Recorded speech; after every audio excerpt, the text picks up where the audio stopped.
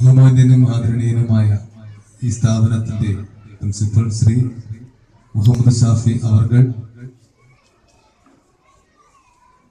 ഇവിടെയുള്ള അമീൻ മാഷ് അടക്കമുള്ള ബഹുമാന്യ അധ്യാപക അധ്യാപികമാരെ അതിലുപരിയായിട്ട് എനിക്ക് എടുത്തു പറയേണ്ടത് അത് പറയാൻ എനിക്ക് വാക്കുകളില്ല.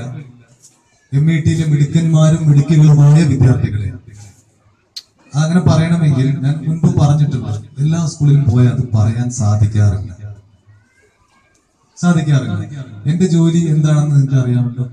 ഞാനൊരു സാധാരണ എക്സൈസുകാരനാണ്. ബഹുമാനപ്പെട്ട ഇവിടുത്തെ പ്രഗത്ഭരായ അധ്യാപകരുടെ മുന്നിൽ വന്ന് ക്ലാസ് എടുക്കാനോ അധ്യാപനം നടത്താനോ ഉള്ള യോഗ്യത ഒന്നും എനിക്കില്ല.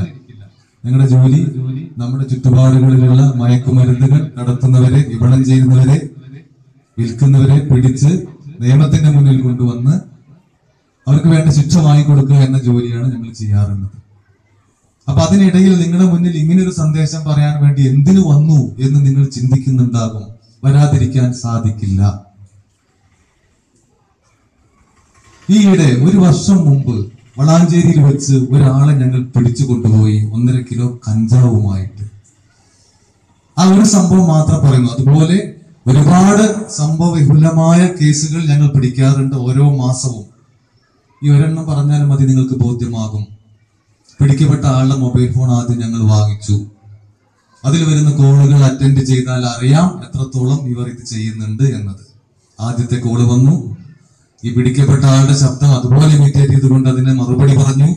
എനിക്കൊരു ചെറിയത് വേണം. ചെറിയതെന്ന് പറയുമ്പോൾ ഒരു ചെറിയ പൊതി കഞ്ചാവ് വേണം എന്നാവശ്യപ്പെട്ടുകൊണ്ട്.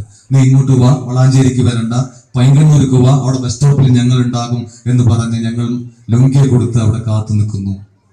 ഹൈവേയിലൂടെ ലോറിയും ബസ്സും ഒക്കെ അങ്ങനെ പോയിക്കൊണ്ടിരിക്കുമ്പോൾ അതിന്റെ ഇടതുഭാഗത്തുകൂടെയും വലതുഭാഗത്തുകൂടെയും വീണ്ടും വീണ്ടും ഓവർടേക്ക് ചെയ്തുകൊണ്ട് ഒരു ബൈക്ക് പാഞ്ഞു വരുന്നു കണ്ടപ്പോൾ ഞങ്ങൾ തന്നെ പേടിച്ചു. അത് എപ്പോഴാണ് ആ ലോറിയുടെ അടിയിലേക്ക് പോവുക എന്ന് ഞങ്ങൾക്ക് അറിയില്ലായിരുന്നു. അവൻ നേരെ വന്ന് പൈങ്കണ്ണൂർ ബസ് സ്റ്റോപ്പിൽ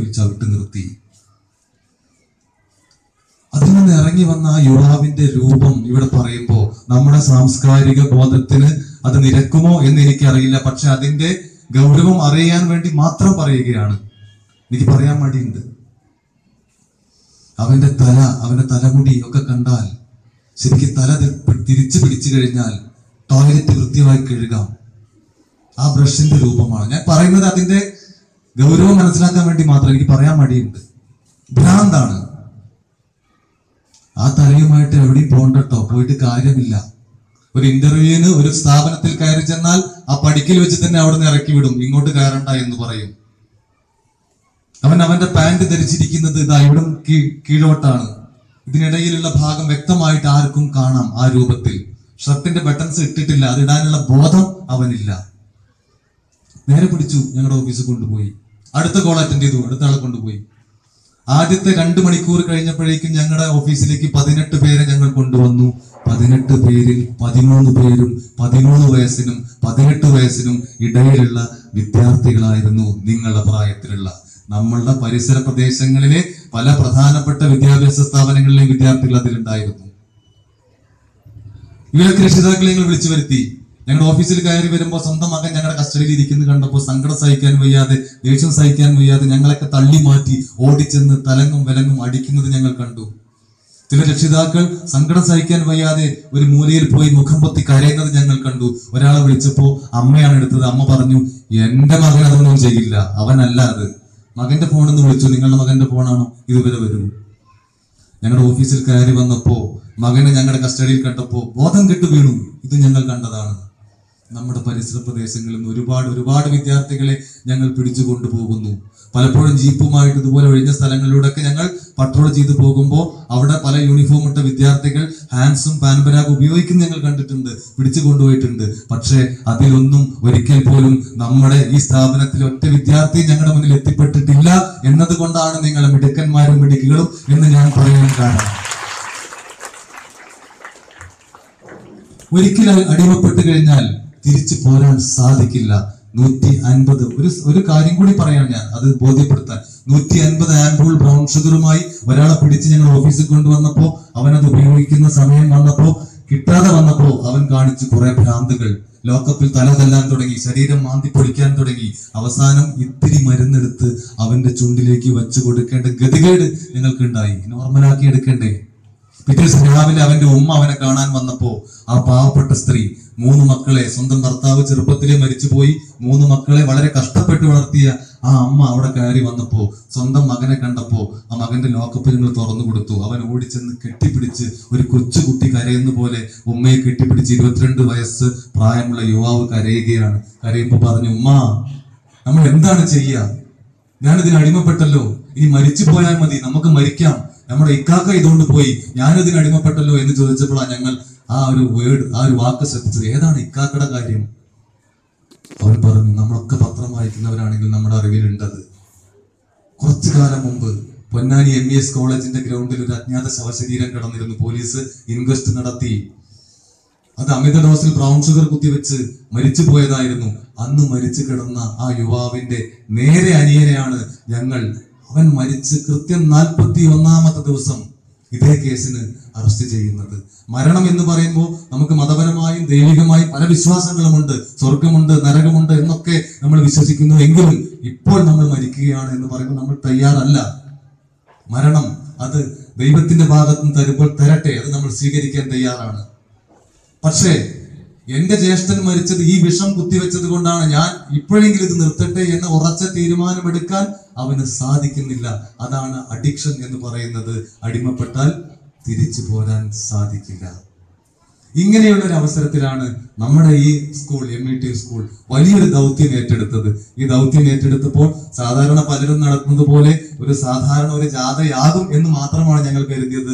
ഞാൻ ഞങ്ങളുടെ ഡെപ്യൂട്ടി കമ്മീഷണറെ ഇതിന് ക്ഷണിച്ചിരുന്നു. പക്ഷെ അദ്ദേഹം വളരെ അത്യ- അത്യാവശ്യമായിട്ട് തിരുവനന്തപുരത്ത് പോയത് കൊണ്ടാണ് വരാതിരുന്നില്ല അദ്ദേഹം തന്നെ വരുമായിരുന്നു. പക്ഷെ ഞങ്ങളുടെ സർക്കിൾ ഇൻസ്പെക്ടർ കിട്ടി. അദ്ദേഹം ഇത് കഴിഞ്ഞ് തിരിച്ചു പോയി. പിറ്റേ രാവിലെ എന്നെ വിളിച്ചപ്പോൾ അദ്ദേഹം പറഞ്ഞു ഗണേഷെ ഞാൻ വിചാരിച്ചു ഇതൊരു സാധാരണ പരിപാടിയാകും എന്ന്. പക്ഷെ അതല്ല ഞാൻ കണ്ടതിൽ വെച്ച് ഏറ്റവും പ്രോജ്വലമായ ഒരു പ്രോഗ്രാമായിട്ട് ഇത് മാറി എന്ന് അദ്ദേഹം എന്നെ വിളിച്ചു പറഞ്ഞു.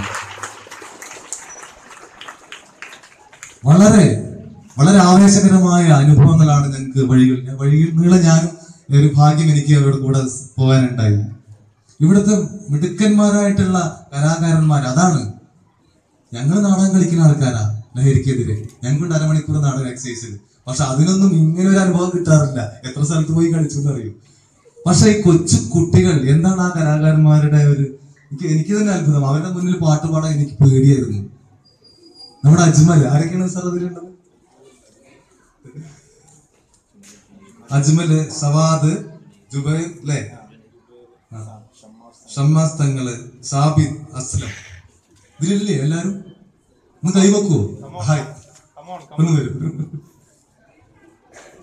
അതിനു പുറമെ ലഹരിക്കെതിരെ വലിയ സന്ദേശം കൊടുത്തുകൊണ്ട് പ്രസംഗിച്ച അൻഷാദ് അൻഷിഫ്.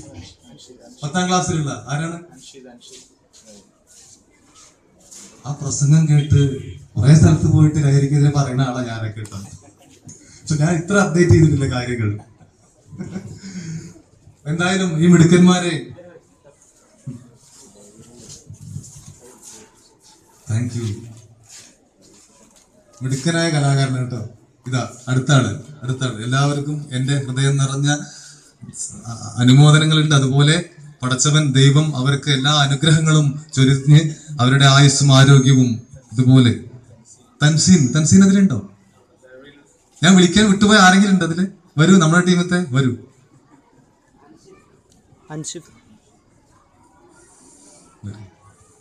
താങ്ക് യു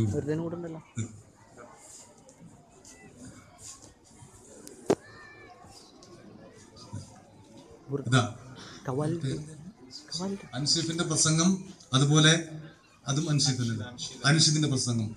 ഇത് നമ്മുടെ നമ്മുടെ ഈ ടൗണുകളിൽ സ്ട്രീറ്റുകളിലൊക്കെ പലരും അത്ഭുതത്തോടു കൂടി ഈ കുട്ടികളെ നോക്കി നിൽക്കുകയായിരുന്നു. ഭാവിയിലെ വലിയ പ്രാസംഗികരാവാൻ പ്രഭാഷകരാകാൻ അവർക്ക് കഴിയും എന്ന് എനിക്ക് തോന്നുന്നു. എന്തായാലും എന്റെ പ്രിയപ്പെട്ട കുട്ടികളെ ഈ അവസരത്തിൽ നമുക്ക് പറയാനുള്ളത് ഈ ഒരു കൊച്ചു ടീം ഏറ്റെടുത്ത ഈ ദൗത്യം നമ്മൾ എല്ലാവരുടെയും കൂടി ദൗത്യമാണ്. ഈ ദൗത്യം നമുക്ക് മുന്നോട്ട് കൊണ്ടുപോകണം. അത് നമ്മുടെ ബാധ്യതയാണ്. ഇത് നമ്മൾ ഏറ്റെടുത്തിരിക്കുകയാണ്. നമ്മൾ മാത്രമല്ല ഇവിടെയുള്ള എല്ലാ സ്കൂളുകളും എല്ലാ സ്ഥാപനങ്ങളും ഒക്കെ ഇത് ഏറ്റെടുക്കണം എന്നാണ് എനിക്ക് പറയാനുള്ളത്. അതിനുള്ള അത് ഏറ്റെടുക്കാനുള്ള ഒരു ഉത്തേജനമാവാൻ നമ്മുടെ പരിപാടിക്ക് സാധിക്കട്ടെ എന്നാണ് എനിക്ക് പറയാനുള്ളത്.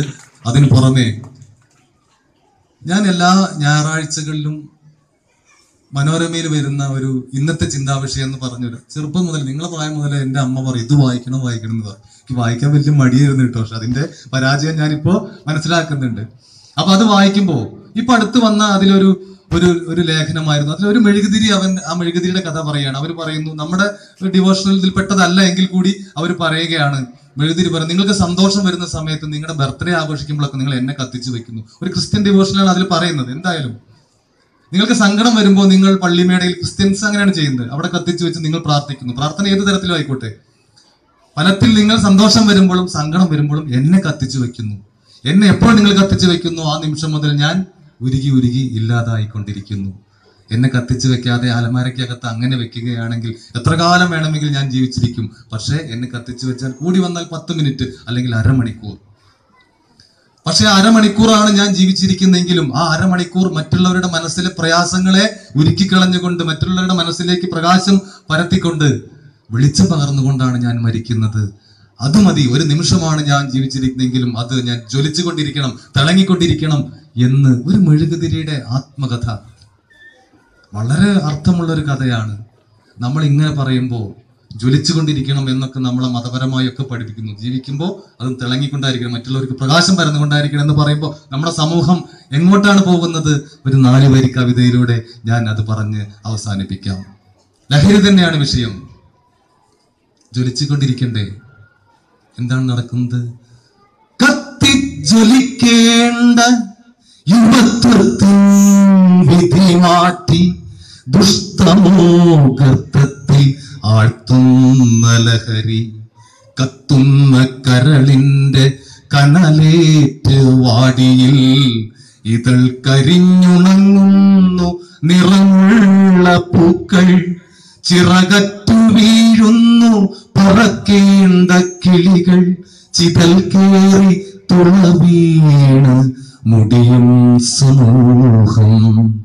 നെഞ്ചിൽ പ്രതീക്ഷയും പിടയുന്ന പ്രാണനും മുറിവേറ്റ നിണം വാർന്ന പൊന്നോമൽ പുത്രിയും കൊളുത്തറ്റ താലിയും ജഡമായ പത്നിയും നിരാനന്ദരായി